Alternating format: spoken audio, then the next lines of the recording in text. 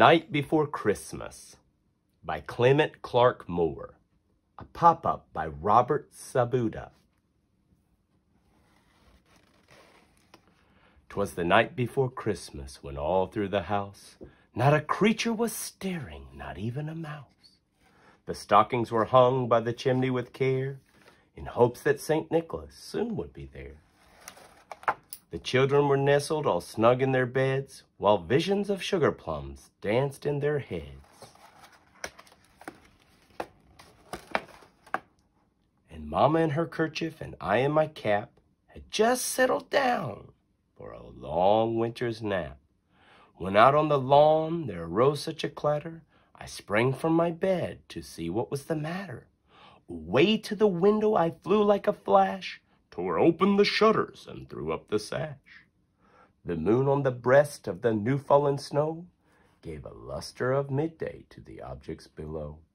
When what to my wondering eye should appear but a miniature sleigh and eight tiny reindeer. With a little old driver so lively and quick, I knew in a moment it must be Saint Nick. More rapid than eagles, his coursers they came, and he whistled and shouted and called them by name.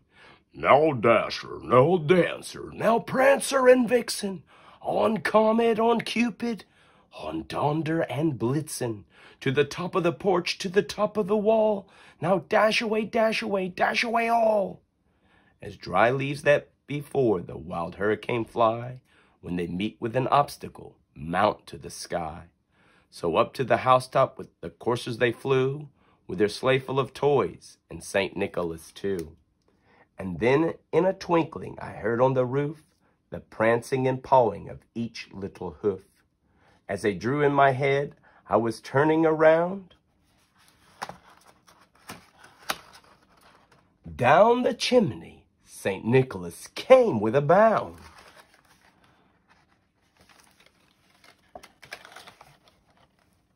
He was dressed all in fur from his head to his foot, and his clothes were all tarnished with ashes and soot.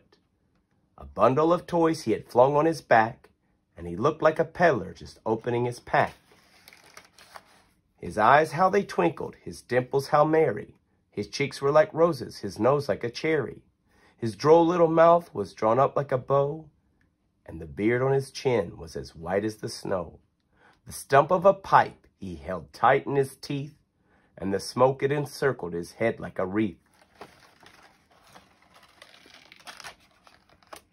He had a broad face and a little round belly that shook when he laughed like a bowl full of jelly.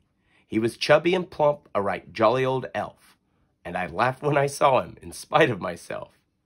A wink of his eye and a twist of his head soon gave me to know I had nothing to dread. He spoke not a word, but went straight to his work and filled all the stockings with a turn and with a jerk. And laying a finger aside of his nose and giving a nod, up the chimney he rose.